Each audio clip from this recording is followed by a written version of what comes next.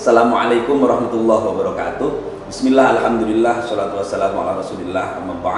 Saya Abdul Wahab Salim Dekan Fakultas Dakwah dan Komunikasi Fadakom Unisnu Jepara. Menyampaikan selamat dan sukses atas terselenggaranya groundbreaking peletakan batu pertama untuk Rumah Sakit Umum Anugerah Sehat Jepara. Rumah sakit kebanggaan warga NU, milik warga NU ini merupakan bagian khidmah Jamiah Nahdlatul Ulama dalam bidang kesehatan. Semoga tetap bermanfaat untuk umat dan selalu diberkahi dan diridhoi oleh Allah Subhanahu wa taala. Terima kasih. Wallahul muwaffiq ila Assalamualaikum warahmatullahi wabarakatuh.